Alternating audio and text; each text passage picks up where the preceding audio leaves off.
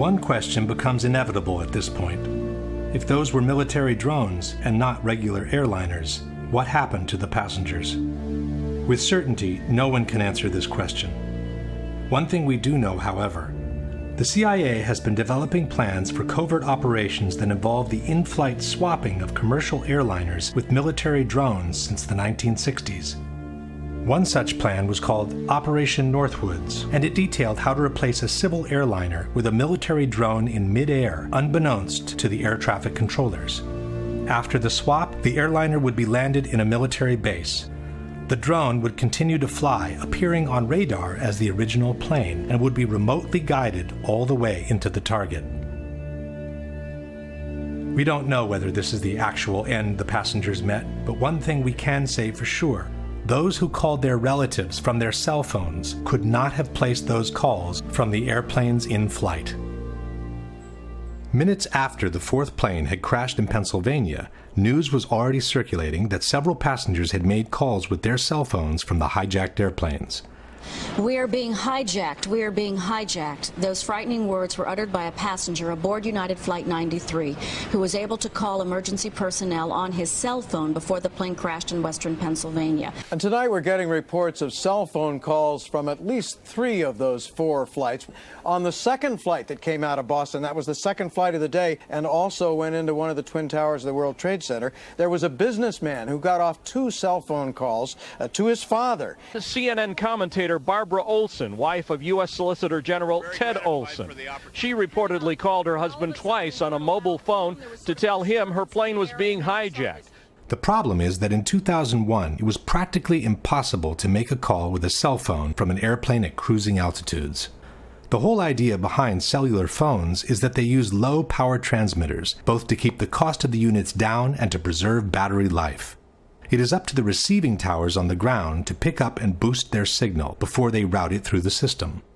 It is commonly thought that beyond 10,000 feet in altitude, most cell phones become useless. Passenger planes normally cruise at 30,000 feet and beyond. The editors of Popular Mechanics, however, maintain that cell phones do work from cruising airplanes, even at maximum altitudes. David Dunbar. With regard to the cell phones, we did what any reporter would do. We talked to experts in the field, and in fact, cell phones do work at that altitude, up to 35,000 feet and higher. And um, in 2001? In 2001, and it might be instructive for you to talk to some of the cell phone experts. Instead of talking to experts, Japanese television decided to take matters into their own hands. In 2003, they conducted an on camera experiment near Ontario, Canada, to verify the actual reach of cell phones from different altitudes.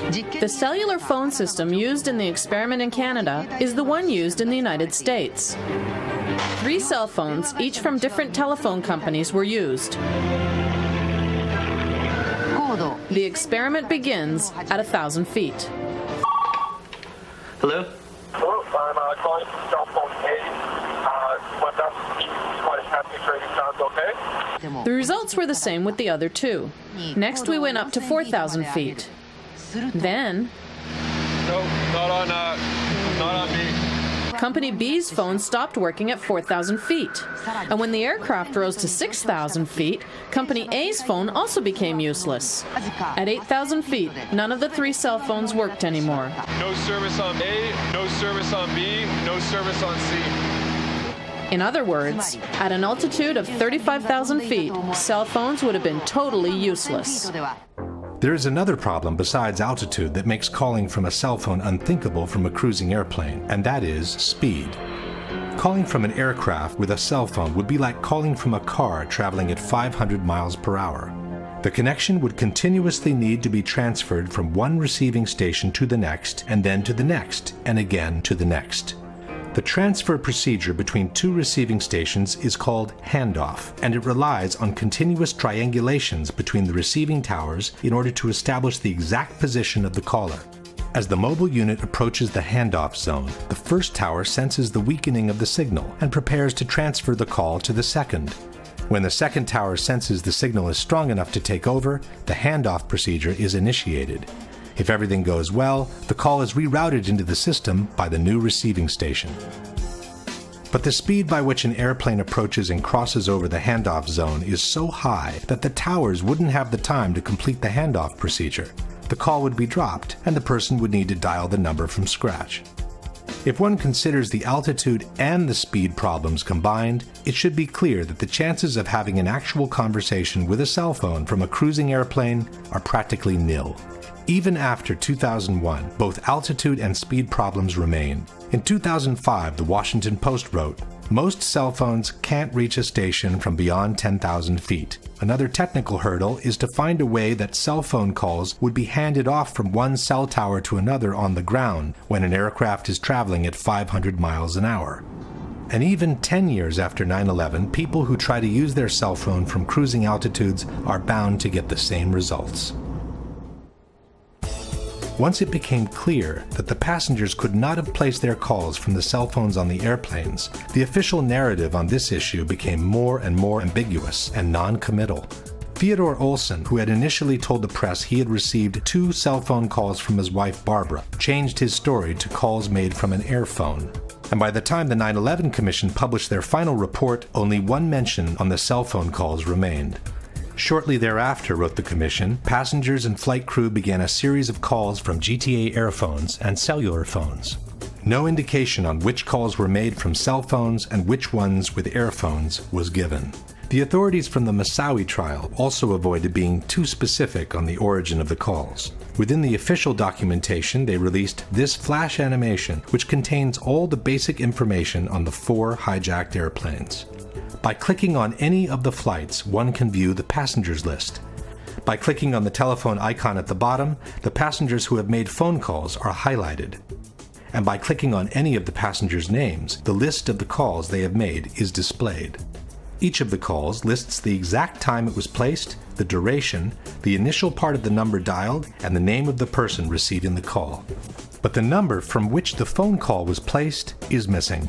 The only information available is the location on the plane the calls were presumably made from, row 30 in this case. It's as if the authorities were trying to suggest that the calls were made from airphones without having to put it down on paper. Only in two cases did the authorities openly state that a cell phone was used. One is the call allegedly placed to 911 by a passenger who had locked himself in a lavatory where airphones are not available. The second is a call placed by flight attendant CeeCee Lyles to her husband, who later described his surprise in receiving a call from her cell phone in a television interview. Once the phone got disconnected, then I sat up in the bed like it was like I just woke up. I'm like, did was that a real call? So I looked at the caller ID and noticed that it was a call and it was from her cell phone. And I'm like, okay, wait a minute.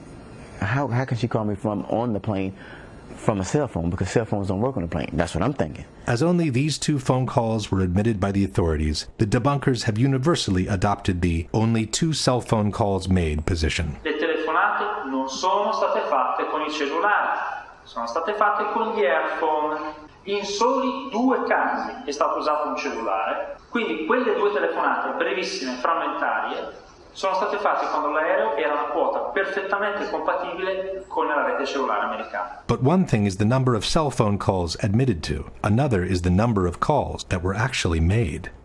In the days following 9 11, the FBI interviewed the various people who had received a phone call from their relatives on the planes, and their reports tell a different story. One of the reports reads, starting at approximately 6:30 Pacific Standard Time, which is 9:30 New York time, Deena Burnett received a series from 3 to 5 cellular phone calls from her husband Thomas Burnett. Burnett was able to determine her husband was using his own cellular phone because the caller ID showed his number. Only one of the calls did not show the caller ID as she was on the line with another call. According to the official documentation, Thomas Burnett made a total of 3 calls one at 9:30, one at 9:37, and one at 9:44. This means that at least two of these calls, if not all three, were made from Burnett's cellular phone. At 9:30, the plane was flying at 32,000 feet and climbing. At 9:37, it had reached 36,000 feet and was still climbing. At 9:44, it had descended to 22,000 feet, while it accelerated until reaching a ground speed of almost 400 miles per hour. None of these calls seems to have been possible with a cell phone from that airplane. According to another report, United 93 passenger Jeremy Glick saw hijackers on the plane, used a cell phone, and called Makeley, his stepmother, to report the hijacking. He then asked to talk to his wife, Lyzbeth. And, uh, and he was on the phone and he had told me um, that his plane had been hijacked. According to the FBI, Glick's wife, Lyzbeth, could not hear any unusual sounds in the background of the call, and the connection was extremely clear, as if he was calling from the next room. Cell phone communication was lost at 9:55. Glick placed the call at 9:37, which means the communication lasted uninterrupted for 18 minutes while the plane was flying between 39,000 and 10,000 feet at an average speed of almost 400 miles per hour. Only a miracle could have kept that connection open for all that time had the call truly been placed from the airplane in flight. Lauren Grandcolas possessed a cellular phone and is believed to have allowed another passenger, Honor Wainio, to use the cellular phone. Wainio placed one call to her parents at 9:53 when the plane was at about 10,000 feet, traveling close to 400 miles per hour. Elsa Strong received a cell phone call from her sister, Lisa Gronlund, a passenger on United 93. Gronlund made the call to her sister at 9:46 when the plane was at 17,000 feet and traveling at almost 400 miles per hour. Marion Britton was also a passenger on United 93. Britton's live-in boyfriend received a cellular phone call from Britton during the hijacking. Britton told Fiumano, her boyfriend, that she had borrowed a cell phone from another passenger. Britton's call to Fiumano took place at 9:49 when United 93 was flying beyond 13,000 feet at a speed of 420 miles per hour. Peter Hanson, a passenger on United 175, contacted his mother on cell phone and said the flight had been hijacked. Peter's father, Lee, said that he resisted the temptation to call his son back because he didn't want to place him in more danger by having his cell phone ring on the plane. Peter Hanson called his parents twice, at 8:52 and at 9 a.m. At 8:52, the plane was at 30,000 feet and it was climbing. At 9 o'clock, it was flying at over 18,000 feet in altitude, while it accelerated towards the record breaking speed of almost 600 miles per hour near sea level. Brian Sweeney was also a passenger on United 175. After learning of the attacks, wrote the FBI, his wife Julie Sweeney returned home to find that her husband had left a message made from his cell phone aboard the plane on their answering machine. Sweeney made the call at 8:58 in between the two Hanson calls when the plane was still at 25,000 feet in altitude. While any one of these phone calls could have momentarily been connected by a set of fortunate coincidences, it should be obvious that all these cell phone calls as a whole could not have been made from the cruising airplanes. Question. Given the known limitations of the cellular phone system in 2001, can you provide any evidence that the cell phone calls made by the passengers reported by the FBI could have been made from the altitudes, at the speeds, and for the durations indicated for each of them? We do know, however, that the calls were made, as no one has ever doubted that the relatives actually received them. This opens the way to a disturbing possibility, which seems to support the in flight swap hypothesis that the passengers were forced to call their relatives under duress, pretending to be on the airplane, while in fact they had already been landed in some unknown location. In support of this hypothesis, we have different elements. One is the conversation passenger Todd Beamer had with a GTE airphone operator, Lisa Jefferson, during the hijack of Flight 93. It is through Lisa Jefferson that the whole world learned about the famous call to action, Let's Roll. When he told the guys, Are you ready? I assumed that they were waiting on his cue. Then they responded to him, and he said, Okay, let's roll. The 9/11 Commission has established that the hijack took place at 9:28. Todd Beamer was connected to Lisa Jefferson at 9:43, some 15 minutes into the hijacking. The FBI report confirms that Jefferson received the call from Beamer at approximately 8:45 Central Time, which is 9:45 Eastern. But the contents of the conversation are strikingly at odds with the official narrative. According to Jefferson, Beamer called to state that the plane was about to be hijacked. He stated that three individuals, two wielding knives, the third with a bomb strapped to his waist with a red belt, were preparing to take control of the flight. Jefferson estimated that she spoke to Beamer for seven minutes before the two hijackers armed with knives entered the cockpit. This places the hijacking at around 9:52, while officially it took place at 9:28. This is no small discrepancy. How could Beamer be describing events that are supposed to be happening in front of his eyes when in fact they had already happened half an hour before? How could the terrorists be preparing to take control of the flight at 9:45 when they had already been in the cockpit for more than 15 minutes? The FBI also wrote that Jefferson noted that the call had an unusually low amount of background noise, the same thing Liz Glick had noticed. Furthermore, the records show that Beamer's call lasted roughly one hour and that the line was left open after the crash. We didn't lose a connection, stated Jefferson, because there's a different sound that you use. I never lost connection, it just went silent. Jefferson stayed on the phone, stated the FBI, until she learned Flight 93 had crashed. Question Since airphones are powered by the same airplane's electrical system, how could the line have remained open for another 45 minutes after the plane had literally disintegrated to the ground in a thousand pieces? All these discrepancies seem to suggest that Beamer was not on the plane, observing real events unfolding, but was describing an imaginary, pre-scripted situation from a different location.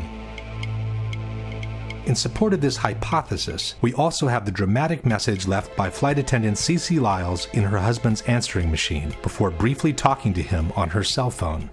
As she herself is suggesting, we should listen very carefully. Tuesday, 9:47 a.m. Hi, baby. Baby. You have to listen to me carefully. I'm on a plane that's been hijacked. I'm on the plane. I'm calling from the plane. Want to tell you I love you. Please tell my children that. We too can notice the absence of the typical background noise heard inside a plane. I don't know what to say. There's three guys. They've hijacked the plane. I'm trying to be calm. We're After saying goodbye, she seems to fumble with the headset while she whispers a few more words into the mouthpiece. I hope to be able to see your face again, baby. I love you. Bye. End of message.